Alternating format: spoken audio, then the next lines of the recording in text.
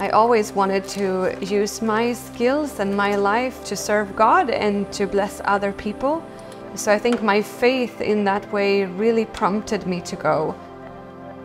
I felt this almost, if you call it a calling, I don't know if that's a strong word, but just this need and, and want to do something that is bigger than myself. My name is Josefin Tapper. I am from Sweden. I work on the Global Mercy as an anesthesia team leader. Uh, in my profession, I'm a nurse anesthetist. I started volunteering with Mercy Ships in 2015.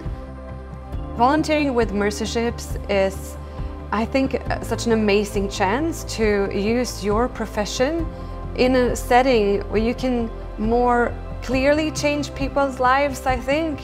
And we do that, of course, in our home countries too. But because the need here is so big, I think that's such a valuable thing to be able to be part. You're a small part, but you're part of the bigger picture of bringing safe and timely healthcare to these countries.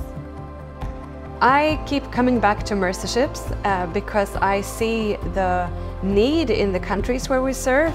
I see the need for both patients but also for professionals of having mentoring and a chance to be equipped to do their work to their best ability. Uh, I've had the opportunity to have about 30 uh, local nurse anesthetists on board and it was so rewarding just meeting uh, these colleagues and sharing professional skills with each other. I think that's the way to go if we want to make a lasting impact in the countries we serve in, to mentor, to educate, uh, to advocate for our colleagues here.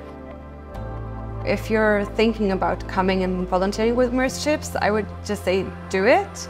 It is so valuable. You get to be in a community of people that are like-minded. You get to work with people from different parts of the world and you get to use your professional skills in a setting where you can really do it to the best of your ability. Meeting the patients, the caregivers, the local healthcare staff, uh, volunteers from other countries, it opens up your world and I don't think you're ever the same again.